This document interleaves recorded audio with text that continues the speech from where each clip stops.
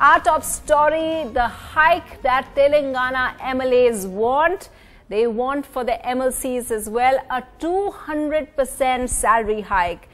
This is coming, of course, at a time when farmer suicides are on the rise in the state. The Chief Minister K. Chandrasekhar Rao has responded positively at a high-level meeting to this long-pending demand of the MLAs and the MLCs to hike their salaries. The Chief Minister was informed that the legislators were facing a financial burden due to a regular visit to their villages in their respective constituencies and that's why they felt that the 3 lakh rupees salary would be legitimate.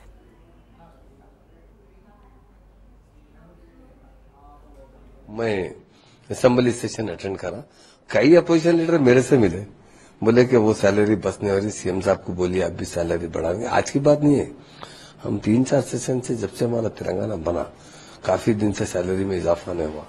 جب ہم government employees کی salary اضافہ کریں forty three percent کر رہے ہیں سب فٹمنٹ تو جب یہ لوگ ہمارے، میرے سے بولے سب، کئی وہاں بھی کوشش کرے سی ایم صاحب کو میمورڈم لگا کے دیے آل پارٹی والے سائن کرے۔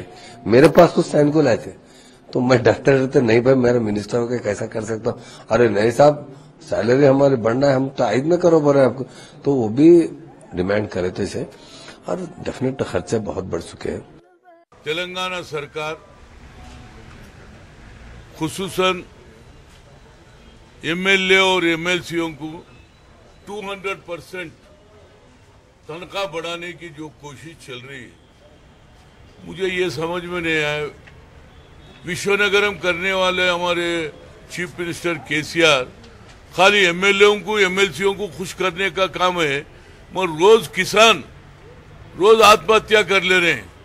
اس کے بارے میں کبھی سوچے کیوں انہوں آتماتیا کر لے رہے؟